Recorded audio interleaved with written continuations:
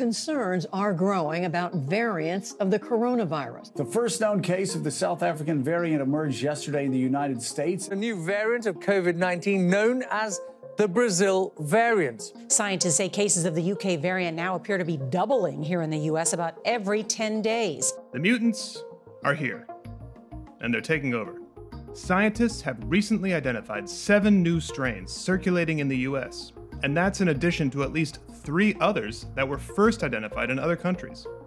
The more transmissible and possibly more deadly UK variant could become the dominant strain in the US by March. Viruses don't mutate unless they replicate. And if you can suppress that by a very good vaccine campaign, then you could actually avoid this deleterious effect that you might get from the mutations. But if there's a race between the mutants and the vaccine, we have a problem because we don't really know who's winning. It turns out the US is doing a lousy job at something called genomic surveillance, which involves sequencing the genetic code of the virus so we can pinpoint where the different strains are spreading. Right now, the US is looking for mutations in less than 1% of positive cases. That's far below the minimum 5% experts say we need to adequately identify and track new variants. Are we doing a bad job of tracking the mutations, or are we doing a very bad job of tracking the mutations? Well, it's possible that we're doing even worse than that.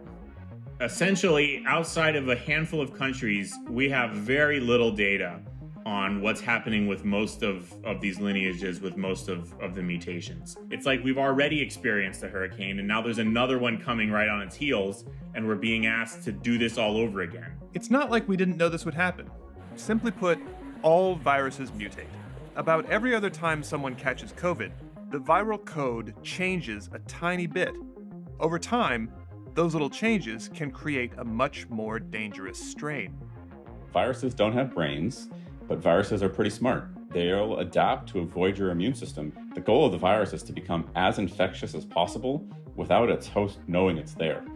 Jared Auclair leads Northeastern University's Genomic Sequencing Lab.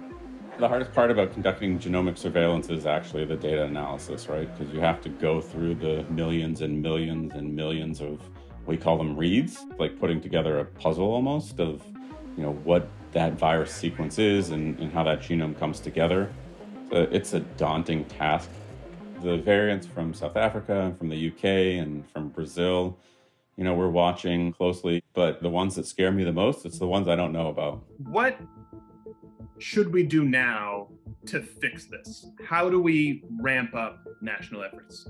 A real centralized approach with with a network of labs who can support genomic surveillance and genomic sequencing uh, is the best approach, right? And, and maybe that's through somebody like the CDC uh, in collaboration with the Department of Health in different states, really having a group effort to uh, sequence aggressively at scale. But just moving samples around for that kind of testing at scale would be a challenge. However, there might be an unconventional solution to the problem. You could imagine a distributed wastewater surveillance system that's always on. We're gathering lots of data. We're synthesizing that to learn about what is where, what's spreading. So, to be clear, one way to get out of the situation that we're in would be a dramatic escalation in monitoring what's going down the toilet.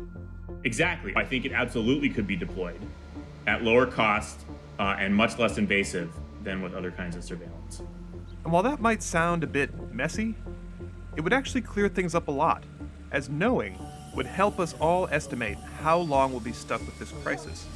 Because if there's a race between the mutants and the vaccine, we won't get back to normal until the vaccine wins. Slower the vaccine rollout is, the higher the probability is that we get variants that evade the vaccine. We're trying to adapt to the most prevalent form of the virus that's circulating the population. It's what it's what we think about as the flu model, right? Right now, you get a, a flu shot every year.